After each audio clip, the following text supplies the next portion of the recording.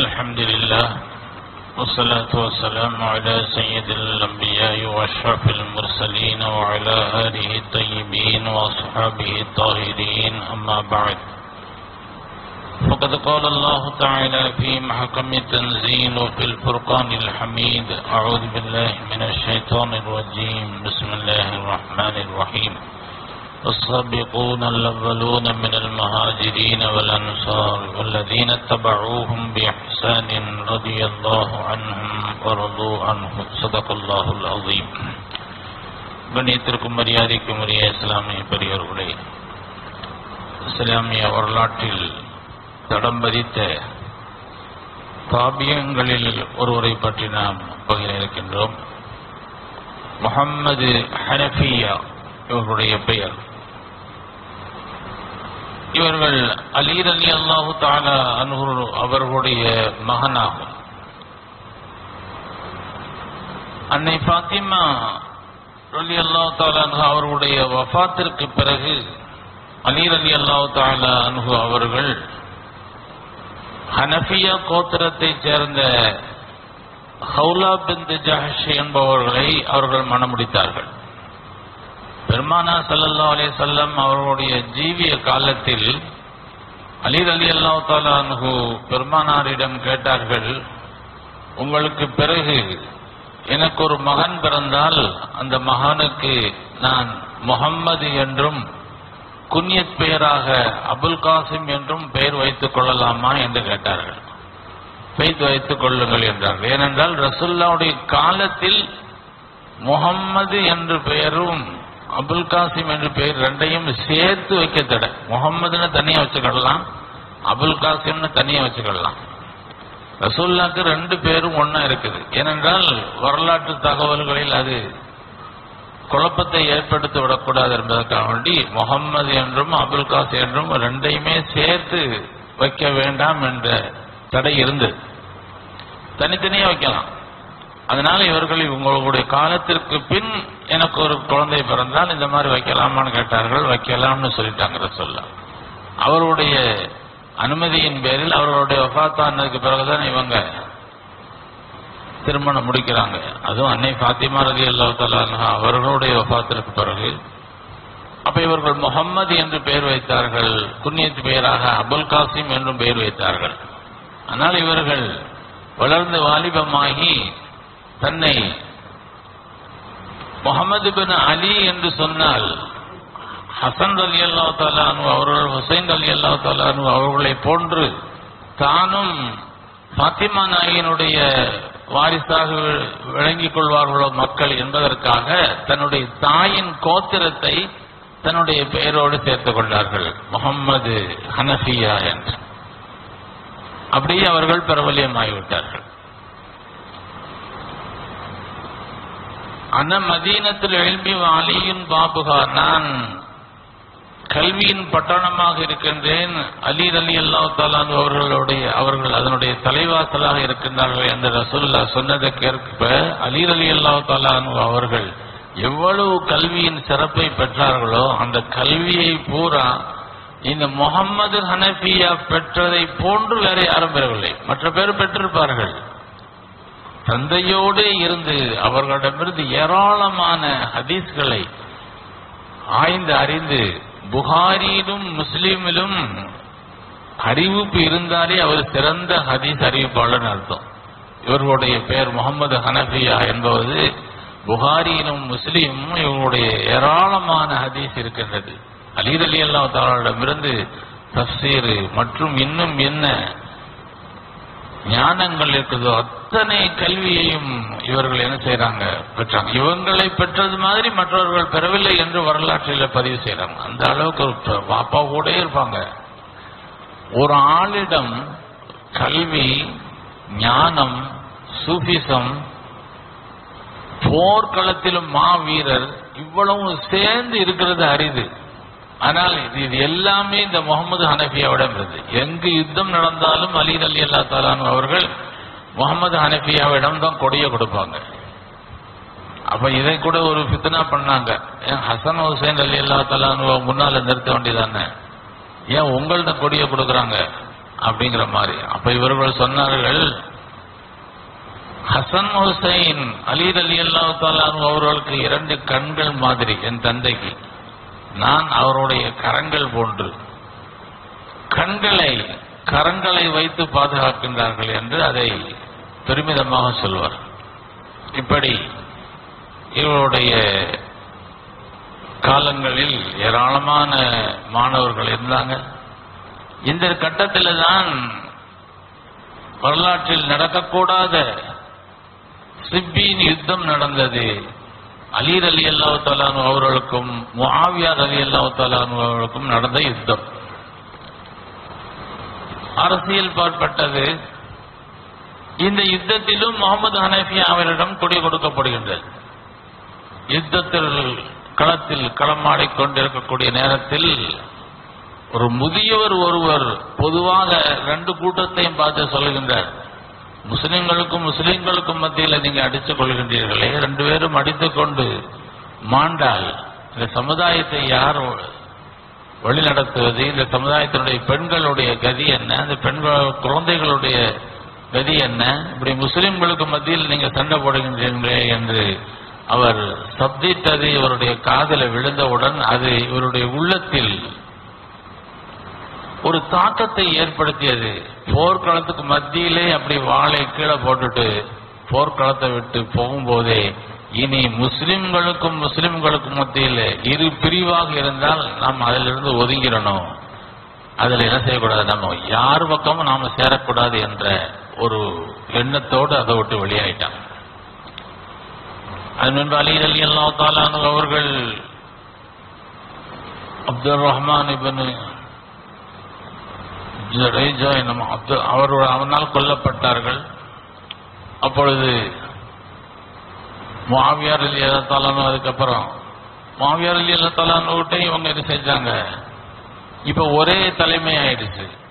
எனவே இவர்களாக போய் என்ன செஞ்சாங்க? பையா அவங்களுக்கு லெட்டர் எழுதி பைய செஞ்சிட்டாங்க.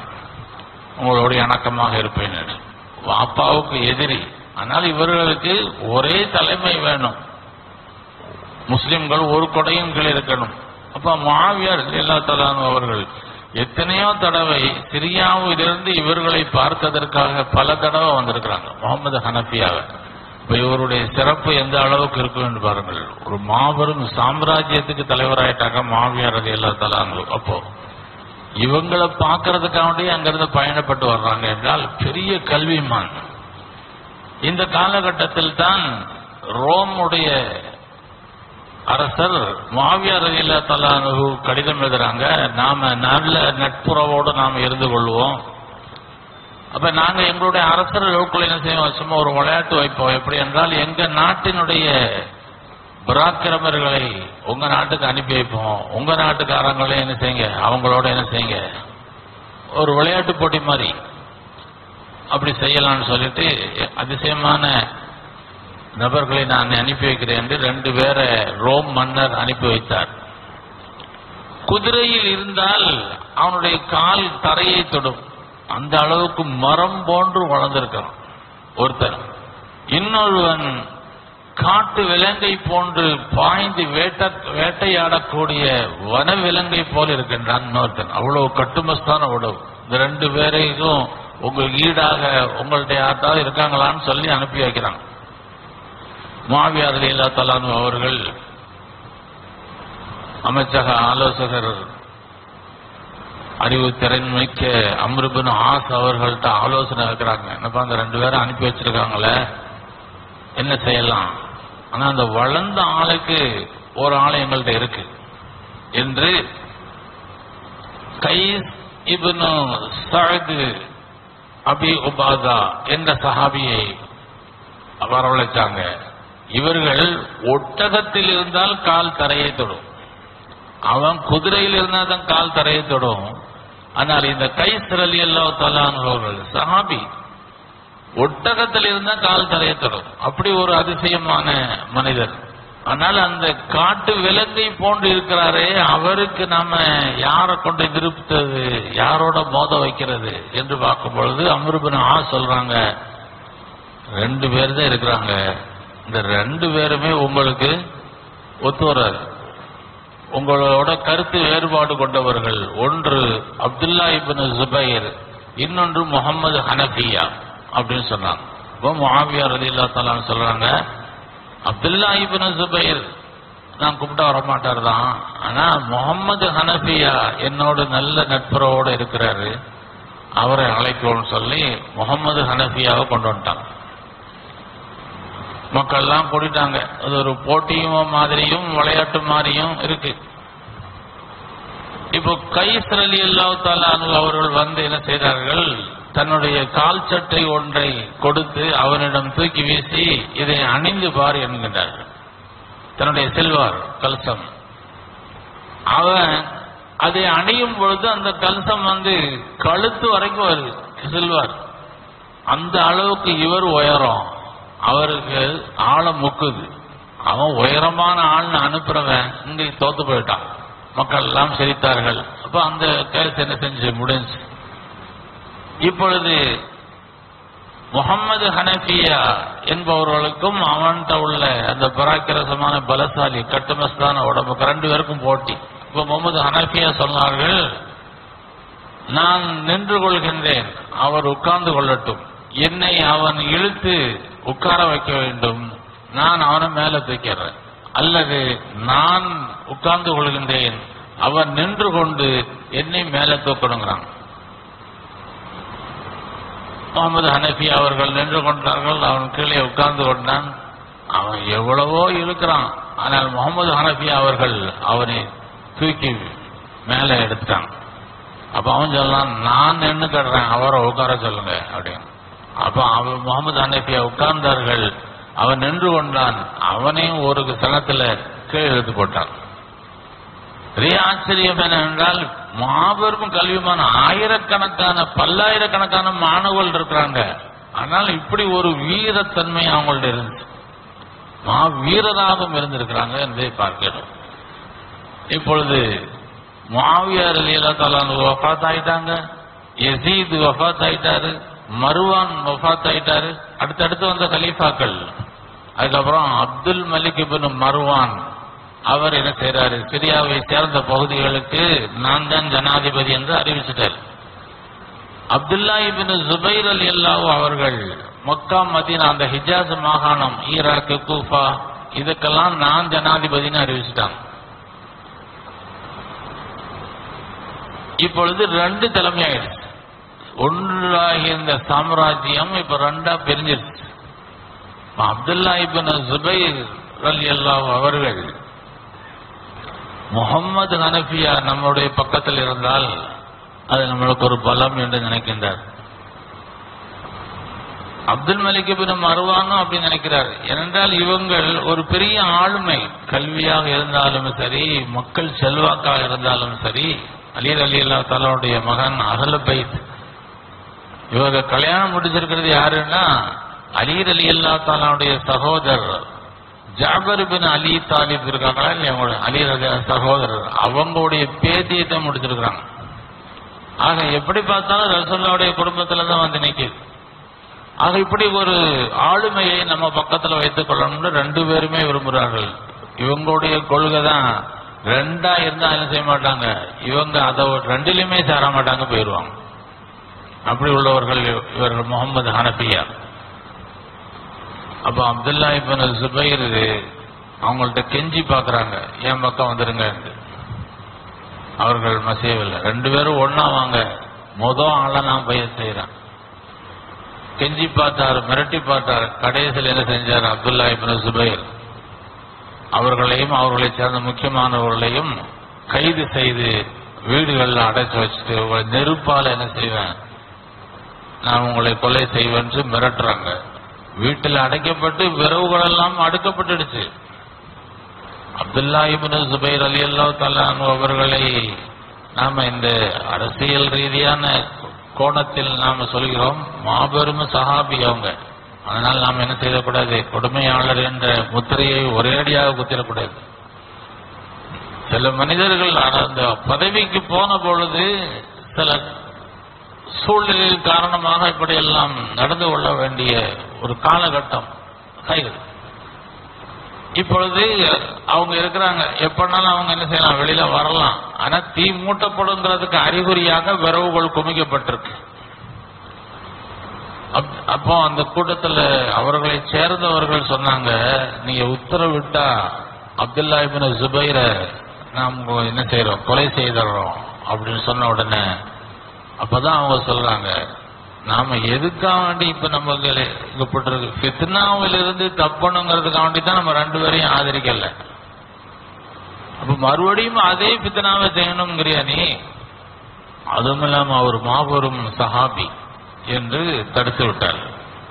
அப்புறம் அப்துல் மலிக் பின் மருவான் அவர் கடிதம் அனுப்புறார். நீங்க எப்ப நான் நீங்க இக்கட்டான சூழ்நிலையில் இருக்கிறீர்கள் என்று தெரியும். எங்க நாட்டுக்கு நீங்க எங்க பகுதி என்னுடைய ஆளுமைக்கு எப்பனாலும் நீங்க வாங்க சிரியாவின் வாசல்கள் உங்களுக்கு திறந்தே இருக்கும். எப்பனாலும் நீங்க வரலாம் அப்படின்னு சொல்றாரு. அந்த கடிதத்தை வாங்கி பாக்குறாங்க. அதுல எனக்கு பய செய்யணும்னு அதுல இல்ல. எங்க நாட்டுக்கு வாங்க தங்கிக் கொள்ளலாம்னு அனுமதி இருக்கு. சரின்னு சொல்லிட்டு அங்க தப்பிச்சு போயிட்டாங்க. அங்கே ஒரு பகுதியில போய் ஊரை அடைந்தவுடன் இவர்கள் முஸ்லிமுடைய பகுதிகளில் பூரா இவர்கள் பிரபல்யமாயிட்டாங்க. மாபெரும் கல்வி மாயினே மக்கள் கூட்டம் கூட்டமாக வந்து ஹதீஸ்களையும் தசீர்களையும் கேட்க ஆரம்பிக்கிறாங்க. மக்கள் கூட்டம் பெருகுது. இப்ப இந்த தகவல் எல்லாம் அப்துல் மலிகபின் மர்வானுக்கு போய்கிட்டு இருக்கு உளவாளிகள் மூலமாக. மக்கள் செல்வாக்கு முகமது ஹனவியாவுக்கு போய்கிட்டு இருக்குங்கிற மாதிரி அவங்க தகவல் சொல்றாங்க. அவங்க கண்ணோட்டம் வேற மாதிரி இருக்கும். நாட்டை ஆளக்கூடிய ஒரு கண்ணோட்டம் கல்விமான் என்பதை விட செல்வாக்கு மிக்கவராக ஆகிட்டு இருக்கிறாராங்கிற கோணத்துல பாக்குறாங்க. அப்ப அவர் என்ன செய்யறாங்க அப்துல் மலிக் பின் மருவான் கடிதம் எழுதுறார். நீங்க நான் உங்களுக்கு அடைக்கலம் தந்ததின் நன்றிக்காக எனக்கு நீங்க பைய செய்யுங்க. அப்படி நீங்க பைய செய்தால் நூறு கப்பல்கள் சரக்குகளோடு உங்களுக்கு தருவோம் ஏன்னா ஒரு பெரிய சாம்ராஜ்யம். இங்க அப்துல்லா சுபைர் வந்து மக்கா மதீனா ஈராக்கு கூபா. இந்த இந்த பகுதிக்கு மட்டும்தான் அப்துல்லா இப்னு சுபைர் மாபெரும் சாம்ராஜ்யத்தை கையில் வச்சிருக்கிறது அப்துல் மலிக் பின் வருவான் செல்வம் கொட்டி கிடக்குது. நூறு கப்பல்கள் சரக்குகளோடு பல்லாயிரம் திருகங்களும் தீனார்களும் உங்களுக்கு கொட்டி தர்றேன். எனக்கு நீங்க ஆதரவு தரணும் இவங்க இவ்வளவு பெரிய செல்வம் செல்வா அவ்வளவு தர்றேன்னு சொல்றாரு. இவங்க கொண்ட கொள்கையிலிருந்து மாறல. ரெண்டு பேர் இருக்கும்போது நான் என்ன செய்ய மாட்டேன்? உங்களுக்கு பயிர் செய்ய முடியாது. அவர் மிரட்டினார். கடைசியில் எனக்கு நீங்க பயிர் செய்யலை என்றால் என்னுடைய ஆளுமையிலிருந்து நீங்க வெளியாகிடணும் என்னுடைய ஆட்சிக்கு உட்பட்ட பகுதியிலிருந்து நீங்க வெளியாகிடணும்னு சொல்லி உத்தரவு போட்டார். இவங்க அதை விட்டு வெளியாகுறாங்க பெரிய கல்விமான்களுக்கு ஏற்படக்கூடிய சோதனைகளை பாருங்க. நம்ம எங்க போனாலும் என்ன செய்வாங்க? அங்க உள்ள போலீஸ் வந்து இது இந்த ஆளுடைய இடம் நீங்க இங்க இருக்கக்கூடாதுங்க வேற ஒரு இடத்துல வந்தா இது இந்த ஆளுடைய இடம் நீங்க எங்க இருக்கக்கூடாதுங்க. இப்படியும் போய்கிட்டே இருக்கிறாங்க. இப்படியான நாடோடிகளாக போய்கிட்டே இருக்கிறாங்க. இப்படி இருக்கக்கூடிய காலகட்டத்தில் தான் ஹஜாஜ் இபின் யூசுஃபால் அப்துல்லா இபின் ஜுபைர் அலி அல்லாஹ் அவர்கள் கொல்லப்பட்டான் அந்த சரித்திரத்தை நம்ம ஏற்கனவே நம்ம சொல்லியிருக்கோம். அவர் கொல்லப்பட்டவுடன் இப்போ வந்து அப்துல் மலிக் பின் மருவான் ஒரே தலைமை ஆயிடுச்சு இப்போ என்ன செய்யறாங்க அப்துல் மலிக் பின் மருவானுக்கு கடிதம் எழுதுறாங்க. நான் உங்களுக்கு பயிர் செய்யறேன் சொன்ன வாக்குப்படி இப்போ ஒரு தலைமை வந்துடுச்சு. அவர்களுக்கு நான் என்ன செய்யறேன் பயிர் செய்கிறேன் என்று அவர்கள் என்ன செய்யறாங்க கடிதம் எழுகின்றார். Abdul Malik bin Marwan Hajjaj bin Yusuf கடிதம் எழுதி முகமது ஹனஃபியாவுக்கு எல்லா வசதிகளையும் செய்து கொடுத்து அவரை சங்கையான முறையில் நடத்த வேண்டும் என்று தகவல் வருகிறது. அது மாதிரி இவங்க என்ன செய்யறாங்க ஹஜ்ஜாஜ் பின் யூசுப் அப்- முகமது பின் ஹனஃபியா அவர்களுக்கு தகுந்த மரியாதைகளையும் தங்கும் இடங்களையும் அவர்களுக்கு கொடுக்குறாங்க. இவங்களுடைய அடக்க ஸ்தலம் இவர்கள் வந்து ஹிஜ்ரி எண்பத்தொன்னுல வஃபாத்தாராங்க பிறந்தது உமர் அலி அல்லா தலானுடைய ஆட்சி காலத்துல பிறந்தாங்க. ஹிஜிரி எண்பத்தி ஒண்ணுல இவர்கள் வஃபாத்தாகின்றார்கள் இவருடைய அடக்கஸ்தலம் வரலாற்றிலேயே பல பதிவுகளாக இருக்கு. ஆனா எல்லாமே ஆதார ஆதாரமான கிதாபாகவும் இருக்கு. எது உண்மை என்று தெரியல. ஜன்னத்தில் பக்கையில் அடங்கி இருக்கிறதாக ஒரு தகவல் இருக்கு. மிஸ்ரிலேயே இவர்களுடைய கபரு இரண்டு இடங்கள்ல வெவ்வேறு இடங்கள்ல இவங்களுடைய பெயர் போட்டு இன்னாருடைய மகன் முகமது ஹனஃபியான் போட்டு இருக்கிறதாக வரலாற்று பதிவை பார்க்கின்றோம். சியாக்கள் ஒரு படிக்கு மேல் என்னது அலீர் அலி அல்லா அவர்கள் என்ன செய்வாங்க? அவர்கள் தலைக்கு மேல வச்சுக் கொள்வாங்க. இவர்கள் வந்து மறையவில்லை மலைப்பக்கம் ஒதுங்கினார்கள் அப்படியே மறைஞ்சிட்டாங்க அப்படின்லாம் கட்டுக்கதையை வேற எழுதி வச்சிருக்கிறான். ஆனால் பெரும்பாலான தகவலின்படி ஜன்னத்தில் பக்கியிலே இவர்கள் அடக்கப்பட்டிருக்கிறார்கள். உஸ்மான் அலி அல்லா தல்லாவுடைய மகன் அபான் என்பவர்கள் தான் அவர்களுக்கு ஜனாதா தொலைவைப்ப மிகுந்த தகுந்த ஆதாரம் உள்ள கிதாபுகளுடைய பதிவாக இருக்கின்றது. அல்லாஹ் ஜல்லஷானவத்தாலா அவர்களை பொருந்திக் கொண்டு உயர்ந்த சொர்க்கத்தை தந்து தந்தல் புரிவானாக. அவருடைய எளிமையிலிருந்து நமக்கும் பயனை தந்தல் புரிவானாக. وآخر دعوانا عن الحمد لله رب العالمين صلى الله على محمد صلى الله عليه وسلم. صلى الله على محمد صلى الله عليه وسلم.